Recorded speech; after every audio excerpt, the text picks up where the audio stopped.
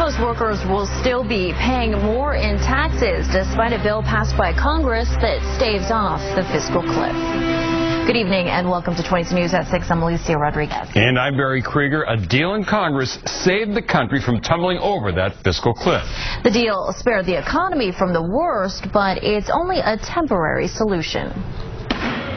It was a deal that spared our economy from the worst. The nays are 167. The motion is adopted. The resolution prevents tax hikes for most Americans, anyone who makes less than $400,000, and renews unemployment benefits.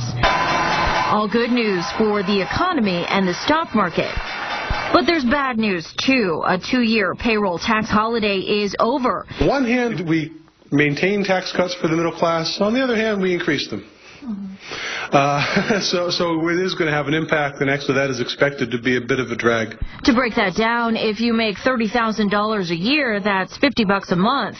50,000, $83 a month. I think there'll be a negative reaction almost immediately because once we kick in this new Social Security payroll tax is going to go from 4 back up to 6%, people will immediately see less income paychecks, and that will create a negative feeling for most people. But one cliffhanger will lead to another. That's because Congress has yet to deal with making major spending cuts and handling the debt ceiling. It was kind of a mixture of let's do something, uh, but we'll save the heavy lifting for several more months from now.